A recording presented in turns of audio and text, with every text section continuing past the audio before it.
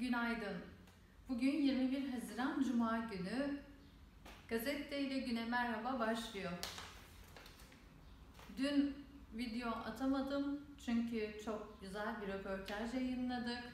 Bizim köşe yazarlarımızın aynı zamanda tacirler yatırımında Adana Bölge Müdürü Savaş Çokangı'nın röportajıydı. Onu vermek istedik.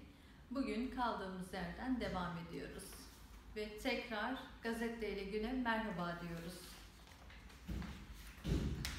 Bugünkü manşetimizde benim yazdığım yazı var. Biraz bencilce olmuş ama yani bu yazıyı da manşete taşımak gerekirdi diye düşünüyorum. Manşetimizin e, başlığı Karar Senin. Gazetemizin imtiyaz sahibi İnci Gül, çok konuşan ve icraat yapan belediye başkanı mı? Karar Senin başlığıyla İstanbul Büyükşehir Belediye Başkan adayı Binali Yıldırım'ın hayatını ve pazar günü yenilenecek olan belediye başkanlığı seçimini konu alan bir yazı kalemi aldı. Senin geleceğin, senin kararın. İnci Gül, 23 Haziran'da İstanbul'da seçmen, ideolojiye bakarak değil, gerçek anlamda İstanbul'a yaraşır, çağdaş hizmetler ayağına getirecek, yeni belediye başkanını seçmesinde yarar var diyerek, senin geleceğin, senin kararın diye de ekleme yaptı.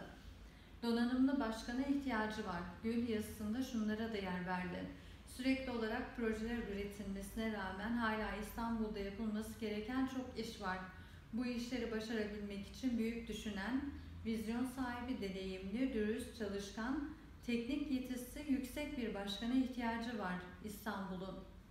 İncigül, Yıldırım ve An Yıldırım'la Ankara Devlet Demiryolları Misafirhanesi'nde bir röportaj gerçekleştirmiştim samimi, içten ve dürüst bir devlet adamını bizzat tanımaktan gurur duyuyorum diye yazdı. İnci Gül'ün yazısını okumak isterseniz Gazete.com.tr'ye tıklayabilirsiniz ya da bayilerden satın alabilirsiniz gazeteyi.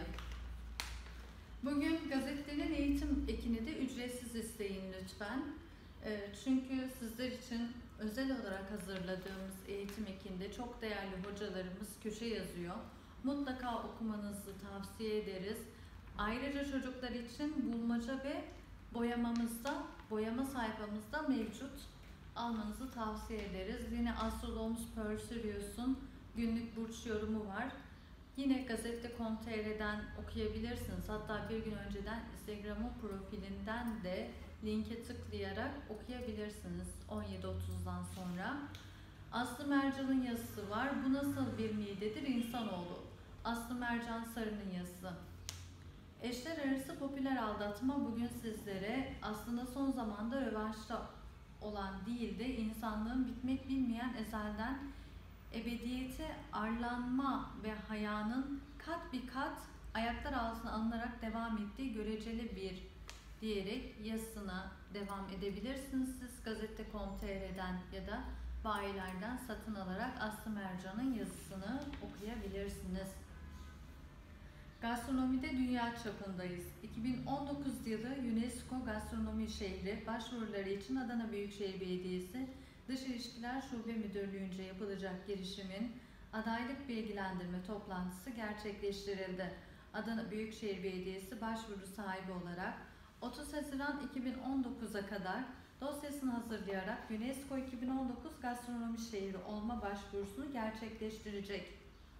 Haberi 7. sayfada yine gazete.com.tr ya da bayilerden satın alarak gazeteyi okuyabilirsiniz. Kendi geleceğini şekillendirecek Seyhanlı. Seyhan Belediyesi'nin haberi. Büyükşehir'in melekleri iş başında. Eşinin evden kovduğu kadın polise sığındı. Adana'da eşi tarafından iki çocuğuyla evden kovulduğu öne sürülen kadın polise sığındı.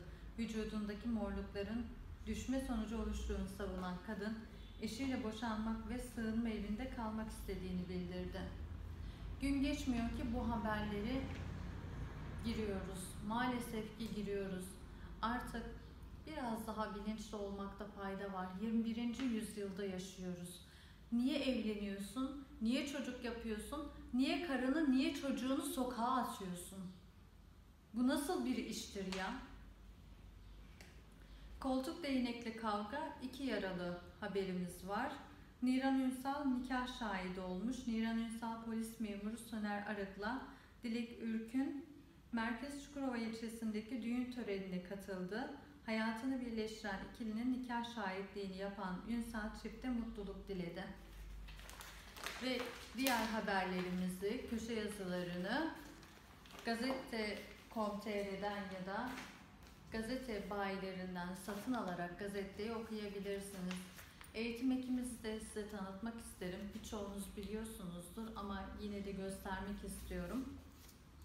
15 günde bir çıkarttığımız eğitim ekimiz içi dolu dolu. Çünkü çok güzel hocalarımız yazı yazıyor.